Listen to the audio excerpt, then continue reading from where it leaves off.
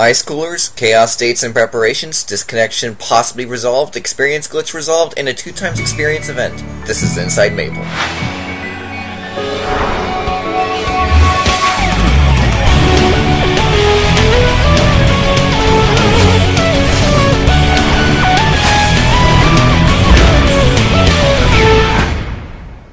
Hello and welcome to Inside Maple, the show that changes mediums more often than the color of that rash you got from Vegas. Yeah, you know the one. First off, we're going to try to attempt to cool down from the summer heat with ice coolers. Until June 28th, monsters will be dropping coolers. Open them up and you can obtain summer-themed potions, summer-themed weapons, temporary face accessories, a mount, or a guitar pick. For those, though, you need 100 before you can turn it into Mrs. Bow for a one-day pendant of the spirit. Next up is the content that I've been uploading habitually for the past few days, the Chaos Patch. But when does it come out? Well, the patch will be live on June 29th with the first part, The Age of Heroes. This part simply changes the Evan, Dual Blade, and Aran classes in a major way.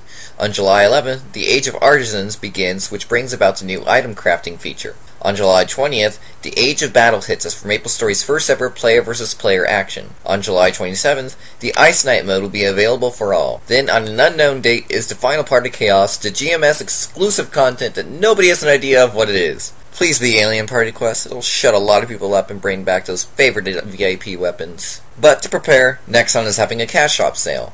At the cost of 49990 NX.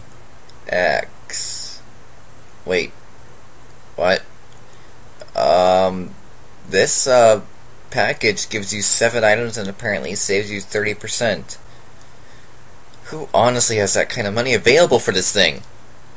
Oh well, the next package gives you 10 items for a price of 99,990 in X. What the hell is going on here? People don't have the money for this? Holy crap, pretty much $100 for 10 items?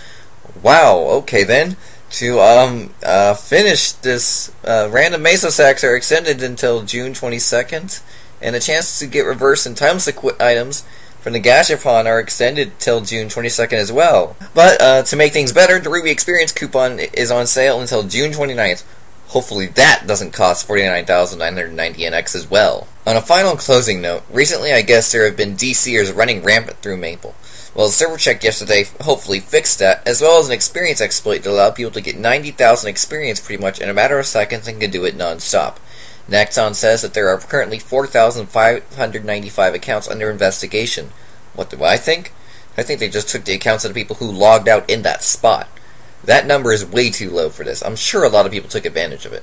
But because of all the downtime, there will be a two times experience and drop event this Friday and Saturday from 2 to 4 Pacific Standard Time, 3 to 5 Mountain Standard Time, 4 to 6 Central Standard Time, and 5 to 7 Eastern Standard Time on both days. But by the time you hear this, Friday's two times event will probably be over. Less two times events and just more fixes, please. I'm not even a player now, and I'm saying what everyone else is thinking. With that, this wraps up this episode of Inside Maple. Expect more Tespia footage over the day and weekend. And now that I know we're all done with school and graduations, congrats to all who graduated in the class of 2011. Class of 08 is still better.